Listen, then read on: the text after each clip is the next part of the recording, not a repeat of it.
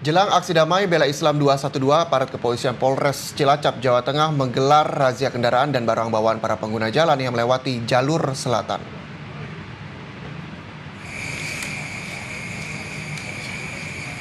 Puluhan aparat kepolisian Polres Cilacap, Jawa Tengah dan Dinas Perhubungan meningkatkan pengamanan di jalur selatan jelang demo 212 Rabu malam.